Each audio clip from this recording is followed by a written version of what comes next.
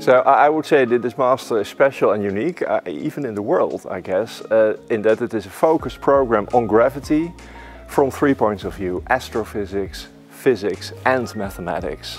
And this combination you'll find nowhere else, I think.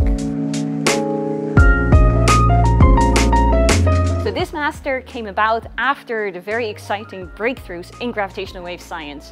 So of course, a few years ago, we had the first discovery of gravitational waves. Two years ago, we had the first image of a black hole in which Radboud played a key role. And you know that got us all super excited and that's why we put this master together.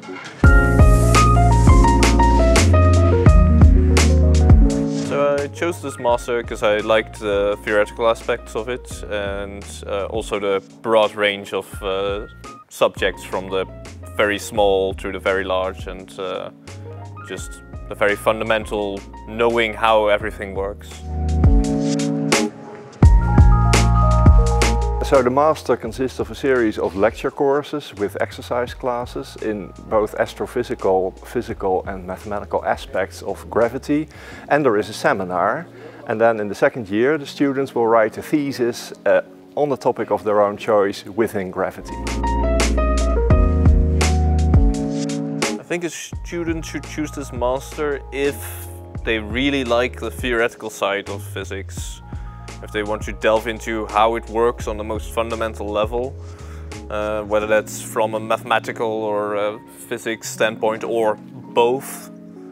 Uh, if, if you want to know how the world really works, this is, might, be, might just be the master for you.